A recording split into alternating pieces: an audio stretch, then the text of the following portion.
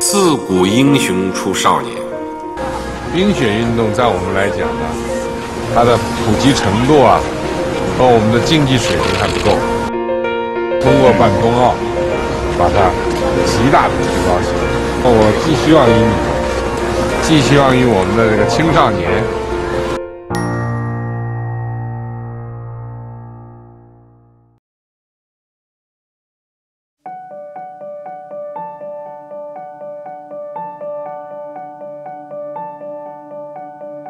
三年前是我参加的第二届冬令营，当时第三天，然后就在这个雪道下方这个位置，然后西爷来看望我们。这是这是姑娘还是小子？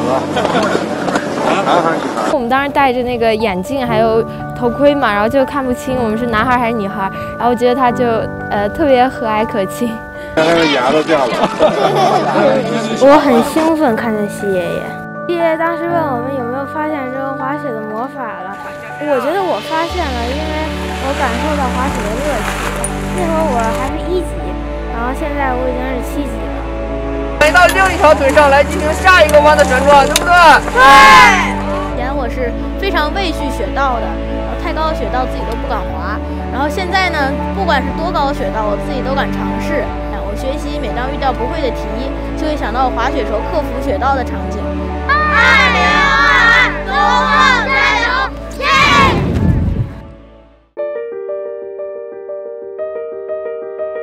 少年正是青春旺盛的时候，可以把你所有的激情都释放在冰球场。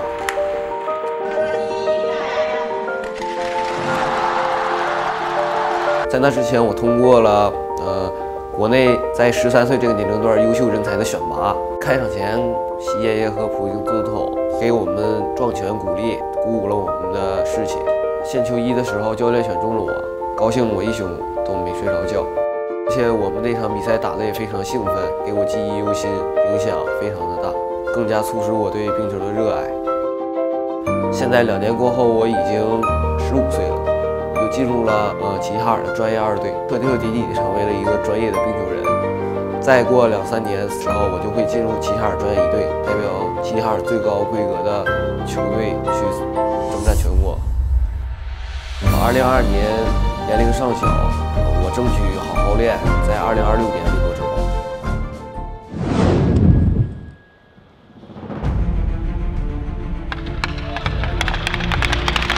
冰球有很多礼仪，超高的意思呢，一般是最高的欢迎；撞肩呢，一般就是鼓励。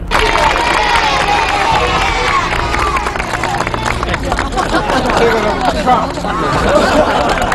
爷爷握了我的手，然后撞了一下肩，让我感到很意外。这个呢，不仅对我的鼓励，然后还是对我的一种友爱关爱。当时习爷爷就拉住我们的手，问我们几岁了，到二零二二年能否参加冬奥会。在第一次见完习爷爷之后，对我来说是个很大的鼓励和激励着我，一直到现在。呃，他知道这一项运动很难，然后你坚持的人也很少，但是他希望我们就比如说一直坚持下去，然后就有梦想的话就去好好的就去实施它这样。一年以后，能看到你们有些人呢参加国家冰球队、国家花样滑冰队。现在每周都有几次冰球课，然后有时候也会偶尔回来看望一下母校这个雄鹰冰球队的训练，学弟学妹们然后都长壮实了，然后呢。球技呢，就也增增增进了不少。一七年的时候，我们冰球队将近有五三四十名同学。呃，我们现在目前的话，冰球队将近有七十名孩子。